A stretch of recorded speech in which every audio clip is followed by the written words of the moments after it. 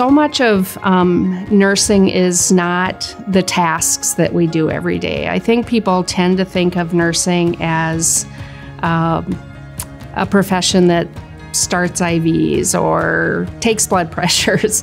But really, the skill of a nurse comes in the assessment of the patient and their family, the needs of that uh, patient and family, both while they're in the hospital or if they're out in the community at home, finding the resources that they need, connecting uh, patients and families to resources so that they can have um, ultimate health I can't say enough about the program here. I didn't know a single thing about like biology, anatomy, nursing in general. And so to look back on where I started to where I'm at now, I feel confident walking into a patient's room. And I think we come from a program of great academic rigor and excellence. And so to be able to go into a unit and confidently say, I'm a jackrabbit nurse, I think means something to a lot of employers. One of the things that makes the College of Nursing unique is the far reach that we have in the state of South Dakota.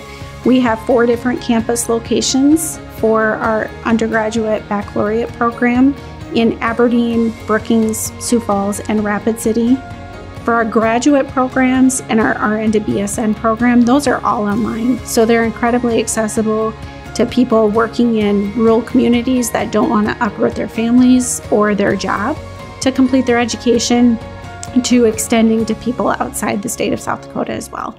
One program that we have that I'm really proud of here at SDSU that um, makes education accessible to students is our Native American Nursing Education Center.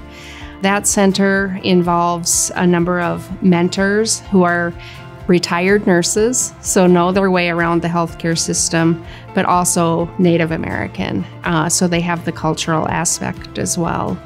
They provide intentional mentoring for students and, uh, and really guidance from a social, cultural, financial, academic perspective that really is unmatched. I would say SDSU nursing is intense and rigorous for a reason. I think as nurses, we're called to serve patients in the highest sense. And so taking our academics seriously and having our professors and staff take our academics seriously will save a life someday, no matter what.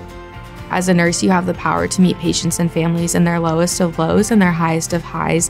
As cliche as that may sound, um, you do have the individual opportunity to make a difference on their life.